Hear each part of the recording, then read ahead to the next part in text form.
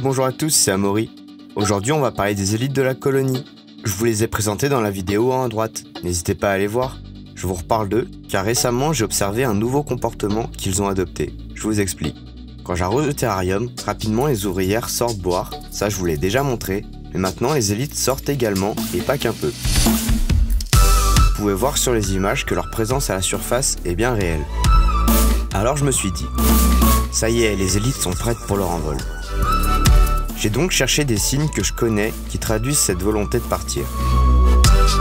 Quand je parle de signes, je parle de comportements bien notables que j'ai déjà observés sur d'autres espèces de fourmis en liberté au moment de l'essaimage des princesses et des princes.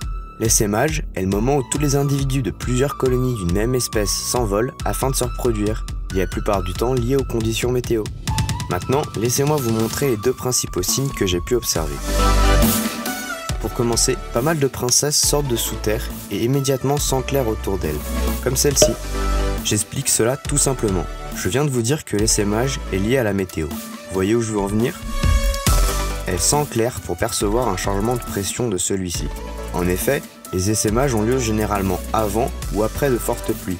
Or, quand il va pleuvoir, il y a une dépression. Les fourmis sont capables de sentir ces changements pour s'adapter à leur milieu. C'est aussi comme ça qu'elles savent qu'elles doivent boucher l'entrée de leur nid avant que la pluie arrive, pour que celui-ci ne devienne pas un piège mortel. Ensuite, tout bêtement, j'ai vu des fourmis s'envoler, et là ça ne trompe plus. Assez difficile de les filmer car leurs vols sont courts et rapides, mais la présence de ce mâle sur le couvercle prouve bien que les élites veulent sortir. Ce n'était pas facile à filmer, cependant, je peux vous proposer des images d'une reine qui s'envole à 1200 images par seconde. Ceux qui connaissent un peu le milieu de la vidéo sauront que plus on filme vite, plus la résolution est impactée. Alors voici les images.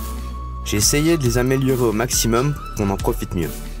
On peut voir ces deux paires d'ailes marcher en symbiose pour créer la portance qui lui permet de décoller. Au ralenti, ça prend tout son sens. Mais sachez qu'avec juste vos yeux, vous ne pourriez jamais observer cela. Bon, assez de gros pixels. Au moment où je filmais tout ça, il s'est passé quelque chose d'encore plus surprenant. D'un coup d'un seul, toutes les élites se sont agitées, et elles grimpaient toutes sur la pierre dans une excitation notable. Regardez. Cependant, elles se sont vite calmées et ont repris leur comportement normal.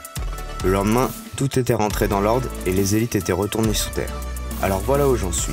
Je vous invite à me laisser en dessous de la vidéo vos avis, mais aussi et surtout, dites-moi si vous avez des idées pour complètement simuler l'essaimage une expérience similaire. C'est fini, alors laissez-moi vous remercier d'avoir regardé jusqu'au bout et de vous rappeler que si vous avez apprécié, vous pouvez vous abonner pour plus de contenu. Moi je vous dis à mardi prochain pour une nouvelle vidéo.